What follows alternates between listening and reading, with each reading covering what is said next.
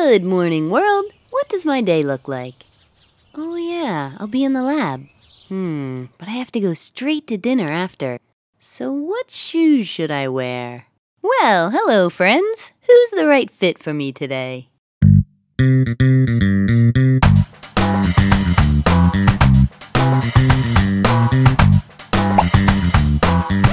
Yes, you will make me look taller, but my toes and heels are uncovered. What if a chemical splashes on them?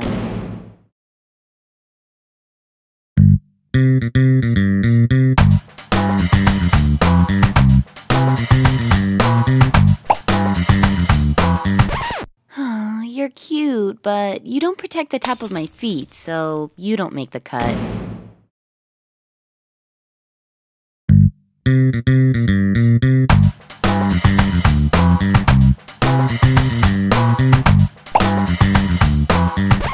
True, I probably won't even notice being on my feet all day. And unlike the flats, you only leave my heels bare. But that's still not good enough.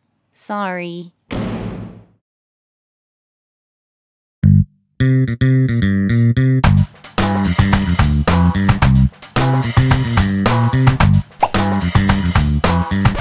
Okay, you pretty much break every safety rule. I'm sorry, but no thank you.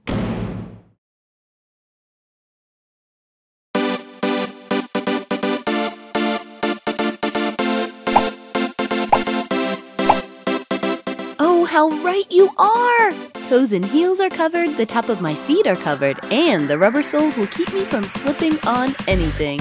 Oh, and bonus points for the low heels to minimize fatigue. Come here, my loves.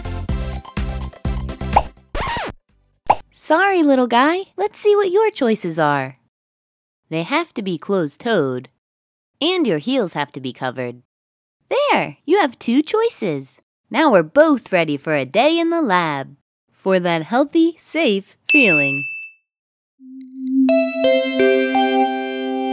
EH&S, protecting your health and safety.